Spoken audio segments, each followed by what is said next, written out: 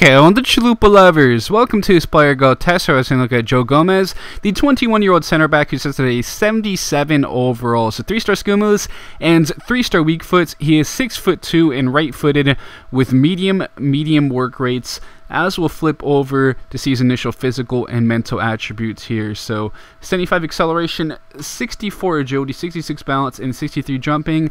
Then 78 sprint speed, 74 stamina, and 78 strength. So pretty solid physically. Then mentally, what stands out is the 77 interceptions along with the 75 reaction, 69 composure, nice along with 70 aggression. And technically, 68 ball control, 69 crossing nice, then 67 dribbling, 68 heading accuracy, and 53 long pass, then 78 marking, 72 short pass, 77 slide tackle, and 79 stand tackle. So the start is really good option at that fullback position also. Uh, so he'll be good in both those spots. You'll see does have the injury prone trait on him unfortunately, but does get a plus two his overall at the end of that first season with the jumping and sprinting improving by two points and a plus one to his strength reactions and vision, while technically some good improvements to the ball control, up by 7 points. A plus 5 to the dribbling, was a bit surprised to see that. Then a plus 5 to the heading accuracy, marking and short pass up by 3, along with the slide tackle and a plus one to his stand tackle. So actually some really good improvements there technically in that first season. Now up to the 81 overall, age 23.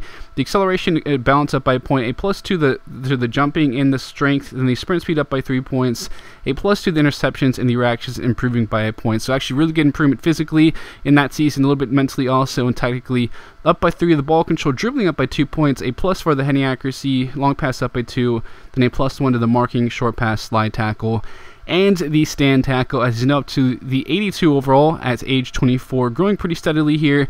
Uh, again, some improvement to the jumping, this time up by 4 points, sprint speed up by 2, then a plus 1 in acceleration, balance, stamina, and strength, and then tactically ball control up to the 83, so really good improvements there. The heading accuracy up to the 80 mark, and some little plus ones to the marking, slide tackle, and stand tackle.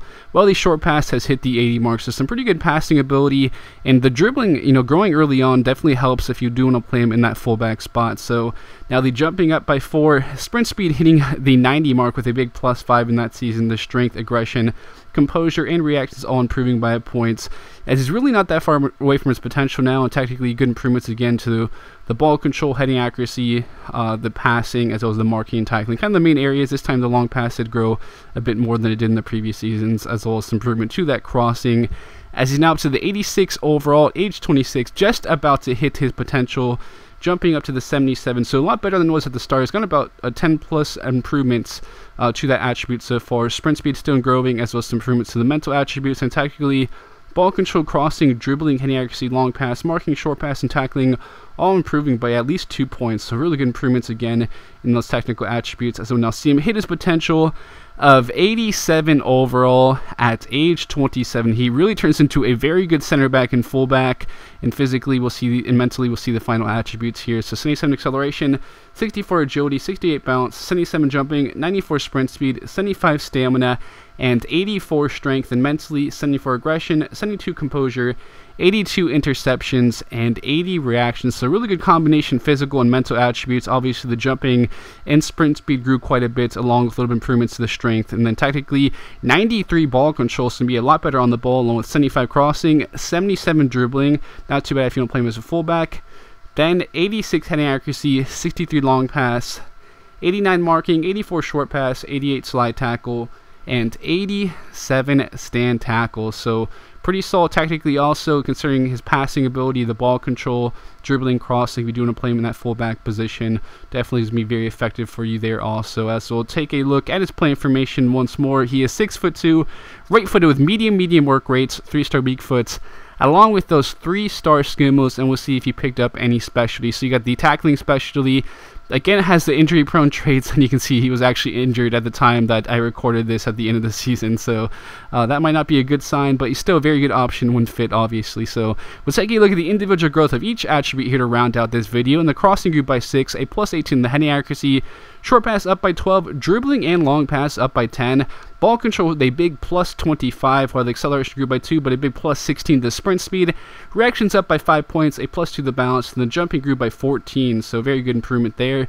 Strength up by 6, and then mentally, aggression up by 4, interceptions up by 5, and the composure up by 3. Then defensively, a plus 11 to the marking, uh, and as well as the slide tackle, and a plus 8 to the stand tackle. Now you can see his overall ratings at other positions there. Uh, basically, he is a wonderful option uh, at that fullback spot. Also, being an 86 in that in that area, so you could definitely play him in that fullback role if you'd like. Also, my beautiful Chalupa lovers. But with that, thank you all for tuning in. I really appreciate all your support again on these video rec- videos recently. Hope you guys have enjoyed this one. Hit that like button. I'll have plenty of content for you this weekend. Double uploads all weekend per usual, as that basically is you know when you guys seem to support this channel the most. Uh, you know, so thank you guys again. I appreciate you. I love you. I'll be signing out now, and I'll catch you guys later.